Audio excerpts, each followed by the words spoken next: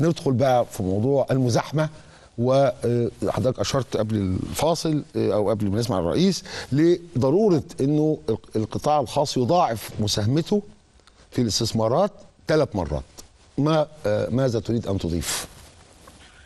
طيب دلوقتي هي فكرة المزاحمة دي والإزاحة دي قصة يعني الجدل فيها قديم أنت بالصدفة بتتكلم عن كينز كان في مناظرة ما بين كينز والمسؤول الخزانة البريطانية قبل ما يصل لشهرته الكبرى في الثلاثينات لكن ده كان في العشرينيات وكان بيتكلم هل الاستثمار العام في وقت التراجع بيقدر إن هو يحل المشكلة ولا ما يحلهاش؟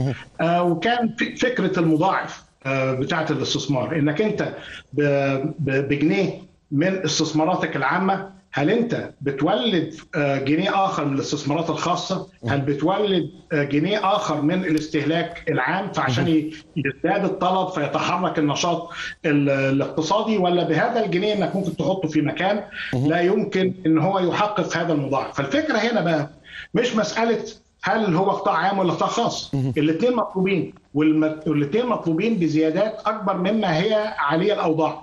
وإذا كان الاستثمارات العامه العامة لبت بحدود 80% من المطلوب منها ومحتاجين أكتر يعني في حدود ال 20% فإيه هو الاستثمار الخاص اللي المفروض بقى يتحرك مبني على هذه الاستثمارات العامة الكبيرة؟ وكيف تكون الاستثمارات العامة زي ما إحنا شفنا في العرض الأوروبي في حالة التعافي في العرض الأمريكي في حالة الفواتير بتاعت البنية الأساسية. اليابان عندها حاجة مماثلة كوريا عندها حاجة مماثلة ونموذجية. فيتنام عندها حاجة معتبرة جدا. كلهم بيتكلموا على استثمارات عامة مولدة لاستثمارات خاصة معاها. وهي بتعمل شغلها وهي بتعمل يعني مواجهة للتراجع ومحاولة إخراج الاقتصاد من مشكلاته ومعضلاته وإبعاد شبح الركود. أيضا في كل هذه البلدان هي بتقول كمان اتفضل يا استثمار خاص تعالى اشتغل معانا فهنا بقى ناخد أمثلة عشان نشوف إيه هو الاستثمار العام المطلوب أكتر. يعني لو أنت حضرتك بتعمل لي استثمارات أكبر النهارده وده سعدت بإن أنا يعني في حوار مع وزير الاتصالات ومع وزيرة التجارة والصناعة وأيضا وزير الإسكان إنه في مع مشروع حياة كريمة. هيبقى في مراكز مهمة لتجميع الصناعات المختلفة والخدمات. وهيبقى في broadband أو شبكة للإنترنت السريع وامكانيه لكل مواطن ليس فقط في المدن والأماكن الحضرية ولكن حيث يعيش أهلي وأهل حضرتك في الصعيد والوجه البحري إن يبقى عنده سرعة للوصول للإنترنت. يسمح له بقى بإن كل القصص بقى بتاعت الشمول المالي إنه يبيع بضاعته من خلال التسويق الإلكتروني إنه يشتري مدخلات إنتاج. كل هذه السوق الجديدة العظيمة المفتوحة من خلال شبكة المعلومات ده هو الطريق الجديد بالإضافة للطريق التقليدي اللي أنا وأنت بنمشي عليه هو ده بقى الطريق الجديد للتسويق والحركة.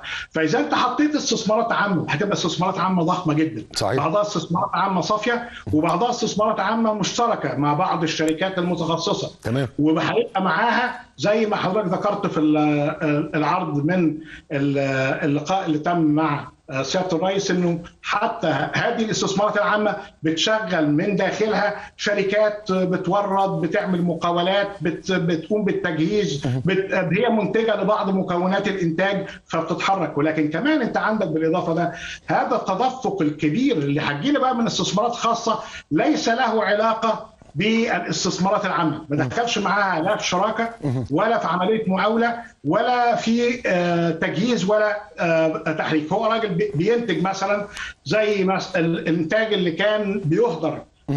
وما زال جزء منه. في الصعيد أهم إنتاج مثلا من الرمان من الطماطم من محاصيل زراعيه الأرقام المتراوحة ما بين 20 ل 40% أما بتعمل لي طريق جديد وسوق جديد هذا الاهدار ده أنا ما انتجتش حاجة زيادة. يعني هو نفس الإنتاج صحيح. بنفس الامكانيه بنفس الفدان اللي عندي. هيبقى عندي نفاذ أكبر للسوق وعائد أعلى.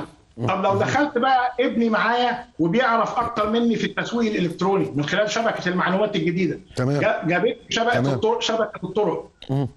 شبكة نقل معاها بتيسر لي وبتخزن لي بضاعتي بشكل جيد. وبرضه أنا فاهم إن وزارة التجارة والتموين أو التموين والتجاره الداخلية عاملة جهد كبير في الاستثمارات اللوجستيه في التجميع. ولكن كمان مسألة التواصل عشان واحد يعرف إيه أعلى سعر وأفضل سعر يبيع بيه. فهنا الشبكتين الشبكة التقليدية والشبكة الأخرى اللي هي الشبكة الجديدة. تمام. ومع الاثنين أنت محتاج بقى واحد شخص مختلف تماما عن ما كان في تأهيله وتمكينه من التعامل مع هذه صحيح. الطرق الجديدة وهذه الوسائل الجديدة. فده الاستثمار في البشر اللي هو الأهم من ده كله. وده برضه في استثمارات عامة وفي استثمارات خاصة بتدخل فيه بتسمى.